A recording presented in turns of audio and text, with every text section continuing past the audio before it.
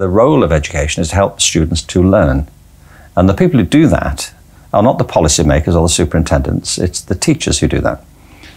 So the heart of education is the relationship between teachers and learners. That's what it's about. And everything else should be focused on making that the best relationship possible. And the problem is that over time, all kinds of things have got in the way of it.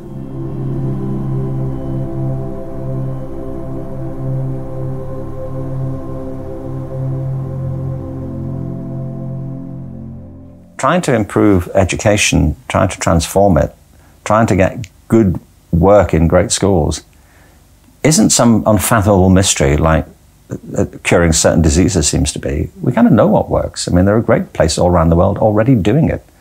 Uh, the problem lies in the insistence of some policymakers, I think, uh, that everything has to be done the same way. That they, they are promoting a kind of homogeneity. And really interesting learning environments are not homogeneous, they're diverse and they, they adapt and they change and they are suited to different sorts of purposes. There's freedom to move, there's freedom to use different sorts of materials, freedom to collaborate and to interact with other people, um, and to work on projects as well as to work quietly on, on theoretical tasks. So uh, the best learning environments are the ones that do that. They embody the variety of learning.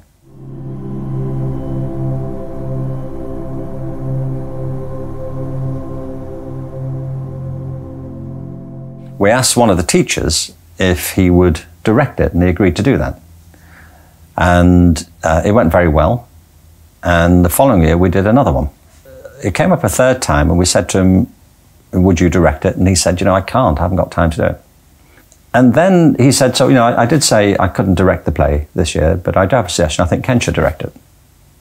Well, I nearly passed out because it had never crossed my mind that I could direct a play or that anyone in the group would agree to it. I just didn't feel I had that relationship with them. I thought, no, the director is somebody who has to preside over this whole thing. But they all just looked around and said, great idea, great. And I was terrified. But you know, I learned a long time ago that you shouldn't walk away from things that trouble you. you know, the best way to deal with the fear is to go straight towards it and try and get hold of it. Partly because of that experience, and probably doing what I do now can be traced back to some extent to that little divergent point. And if he'd not said, "Will you direct the play?" I'd probably be running a bar somewhere now in Warrington.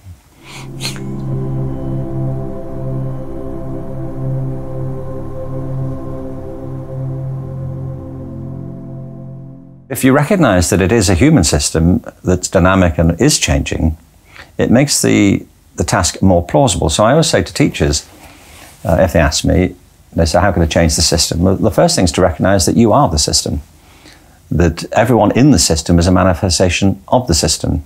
So if you change what you do, you are changing the system. And the interesting thing about this to me is that there is much more room for innovation in the system as it is than very many people seem to realize.